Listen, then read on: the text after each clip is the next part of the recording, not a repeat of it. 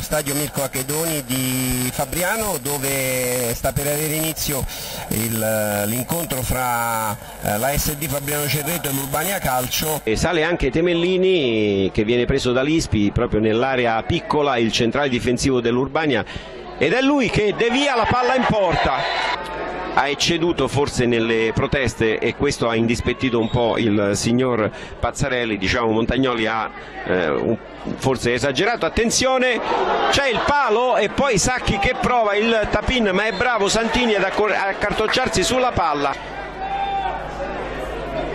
Urbani ancora in avanti, pallone imbucato per Fraternali, buona la palla, Sacchi.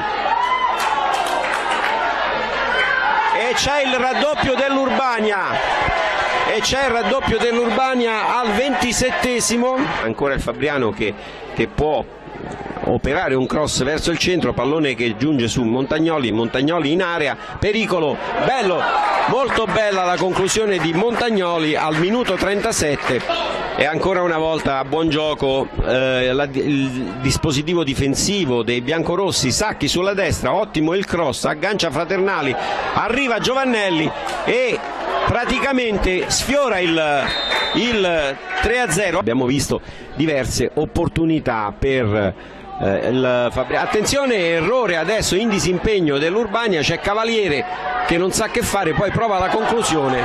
Ci sono 5 calciatori del Fabriano in aria, c'è anche l'Ispi. E il gol, gol del Fabriano che riapre la partita con il colpo di testa di Stortini. Il signor Pazzarelli che manda le squadre negli spogliatoi per l'intervallo, nel nostro taccuino sono più numerose invece eh, le occasioni da rete dell'Urbania. Calcio di punizione, eh, va Montagnoli e si oppone Stafoggia.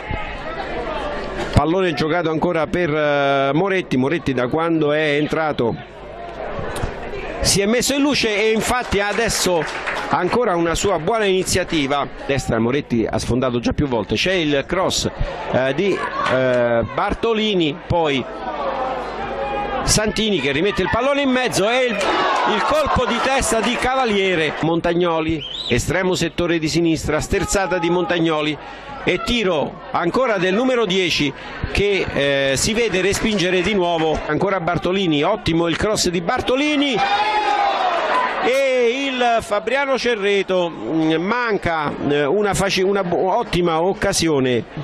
Sacchi indietro l'abate scambia con un compagno sulla linea mediana del campo varca adesso la linea di centrocampo e poi serve con un eh, lungo lancio il uh, numero 19 Cantucci è bravo adesso Lucciarini che si libera con eleganza in mezzo all'area e va a trafiggere sta foggia. C'è stato un minuto supplementare concesso dall'arbitro che credo stia per comandare la fine delle ostilità, così è e l'Urbania può festeggiare